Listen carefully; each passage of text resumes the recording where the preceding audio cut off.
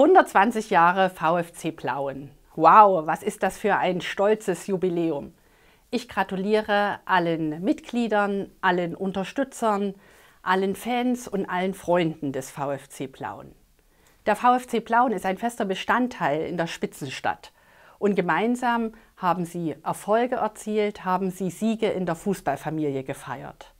Gemeinsam haben sie aber auch Tiefen durchstanden und sie sind gestärkt daraus hervorgegangen.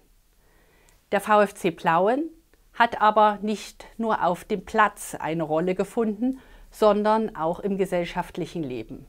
Ich erinnere beispielsweise an das Integrationsteam des VfC Plauen oder an das Fanprojekt Bad Kurve hilft. Fußball verbindet und Fußball hat auch immer die Gabe, Menschen zusammenzubringen, Freundschaften zu schließen und auch Gemeinschaft zu stiften. Dafür stehen sie, Dafür steht der VfC Plauen. Ich gratuliere Ihnen nochmals recht herzlich zu Ihrem Jubiläum auf die nächsten 120 Jahre.